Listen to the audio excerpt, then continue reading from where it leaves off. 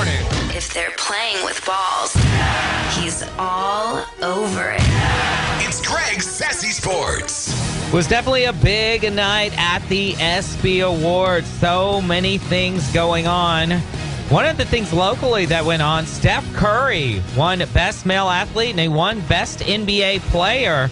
Steph Curry taking home two awards last night. So his offseason or his season, his summer just keeps getting better and better and better. He got the MVP, then he won the championship, then he had another baby.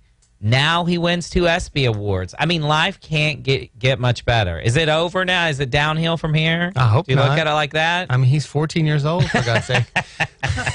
I mean, I would hope he doesn't crest this this early. Dude, what is he? 26? 26, Jason, look that up. 26, and he's already won an Uh-huh. NBA championship, won a league MVP. 27. 27. Won, had two babies, married to his sweetheart, and got a huge contract and has two ESPYs. So what were you doing in 1988? I. Top that. Drop the mic. Top that. I mean, what do you want?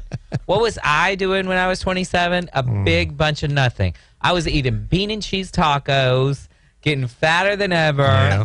I think I had a size 36 waist. I was huge. Wait, I'm a 36. Yeah, well, you're also taller than I am. Oh, yeah, yeah. I mean, I, you say I looked like Guy Fieri. Had that blonde, blonde hair oh with Oh my that God, big fat red But face. here's the thing: you Oh, did do you it like photo? You know all that. those years ago Yeah, when it was got it. cool. Guy Fieri's still doing that look. Yeah, at least I gave it up. What's your Like, excuse, listen, guy? the '90s called Guy Fieri. They want their look back. Oh man, twenty-seven. Well, I was not. I was in San Antonio. Not my best. I was year. living here. I was doing nights at Z95.7. Then I would get off at 10. Did you win any awards? And then I would be at the bar by 10:30, oh, hanging out, See, maybe trying to if you- meet dudes. maybe if you weren't doing that, you could be like Steph Curry, successful. exactly. But good for him. And Steve Kerr won Best Coach last night as well. And I think he deserved it. I mean, he just did it for one year and he won the championship. Right. I mean, he can drop the mic too. Why go back? I mean, what does Steve Kerr have? Six NBA championships? Look that up.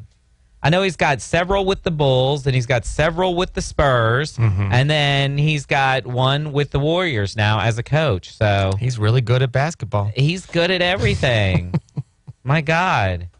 Is there anything this man can't do? I don't know. But anyway, now he's won an ESPY as well. So there you go. Steve Kerr, Steph Curry, big winners last night at.